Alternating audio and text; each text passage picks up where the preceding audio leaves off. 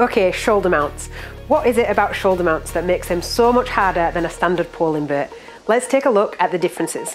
Just like in our basic invert, for our shoulder mount lift, we use primarily our hip flexors to lift our knees off the floor in an open chain movement which is stabilised by the strength of our core.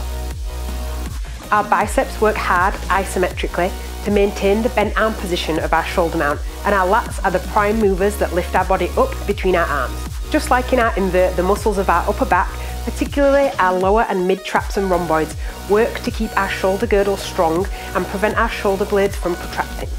In our V position, our abductor muscles create this wide straddle, our hip rotators work to keep our legs externally rotated, and our quads of steel are working for that beautiful straight leg line. At first glance, you can see that there is a lot of crossover with the invert. We're using all the same key muscle groups, but there are three important differences.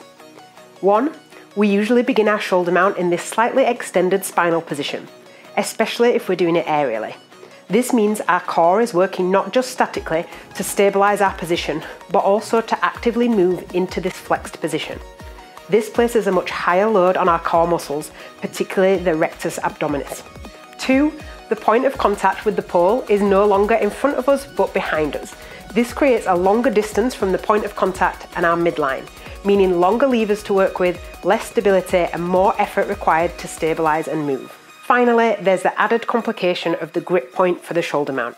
Because we use a cup grip and the shoulder as a contact point, it's a higher level skill that requires a little more conditioning and confidence to execute versus the invert where we have the pole in a more familiar stronghold grip close to our body and with that extra visual and tactile feedback that comes with it.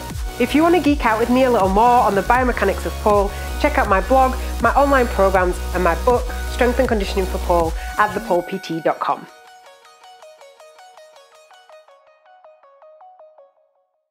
But there are three important differences. One, can you just be quiet, please? um, okay, shall I carry on? No. You're gonna be in it. You're gonna be in the movie. You, don't, you have to learn how to not look so awkward if you're gonna be in the movie. You're not made for TV, Mackie.